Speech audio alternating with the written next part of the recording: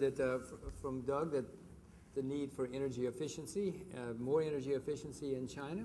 And we heard from, uh, then we heard about the fact that there is increased production uh, or demand being, going on in, in, from Victoria in China. And then Dr. Xu has a solution, uh, Dr. Shi has a solution with the sun. Uh, I'm going to ask Dr. Shi first, um, are the other solutions better? Are they viable? Because solar power is somewhat expensive. What and if they are viable, can they happen fast enough to solve China and the world's energy problems? Okay, I think um, uh, first of all, I think it definitely is viable. Um, if you look at, uh, okay, if you look at, uh, we talk about energy as a whole, you know, all sorts of energies came from sun, okay, and uh, coal, oil, is uh, energy of sun in the past, so it, is true. So reserve on the you know Earth's crust. So now we need to you know use the sun of the present. And um, of course, I mean, at this moment, is we, we think solar is more expensive. That's I can tell you two two years ago, you know, the solar panels price was thirty percent cheaper than today. So the reason the solar panel price is you know went up is really is because of uh, demand is far ahead of supply. So this uh, uh, silicon price became you know more expensive, and uh, with with more and more people now, you know, start to invest in the upstream, to in- invest in refinement of silicon.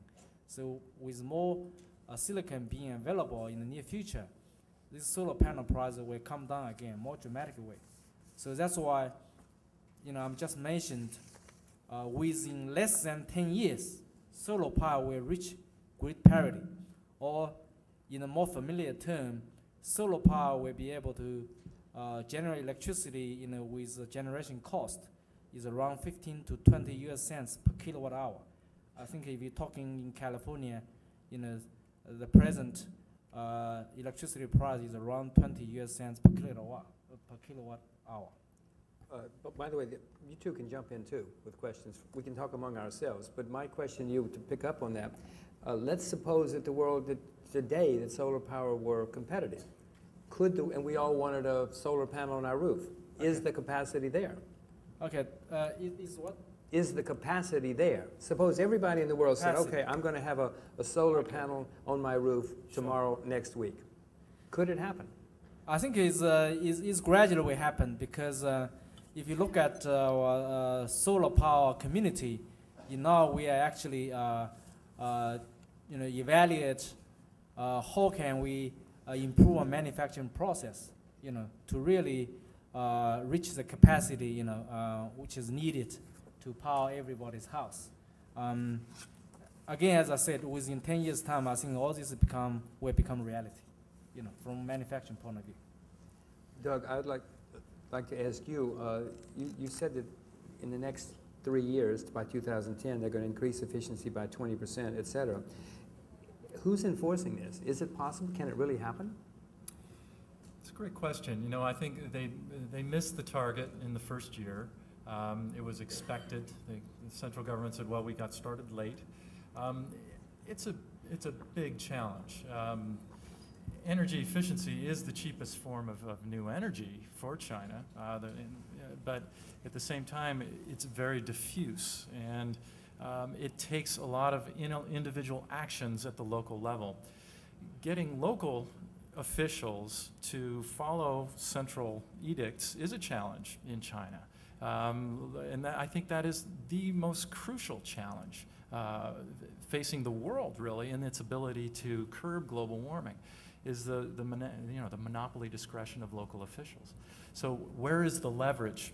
And so one of the initiatives here is to one, do training programs about what, what do the regulations say and what are the local opportunities for implementing cost effectively and in fact profitably a lot of these efficiency solutions. But can we also have environmental performance criteria ensconced in the annual performance reviews for local officials so that they have metrics for improving if they want to move up through the hierarchy uh, that they need to, to demonstrate environmental improvement and have this link to energy performance. But this is already April of 2007. If they don't get going soon, they're not going to meet the 2007 standards, much less the 2010. Just listening to you. And then there's 2015 and 2020. So uh, this is the first time China has put energy efficiency as a centerpiece of its five-year plan.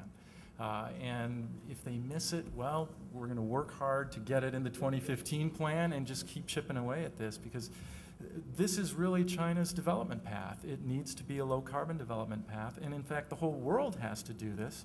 And why can't China be the manufacturing base of the green technologies that everyone needs? Why can't? You're right. That's a good question, but we can't solve it this afternoon, I don't think.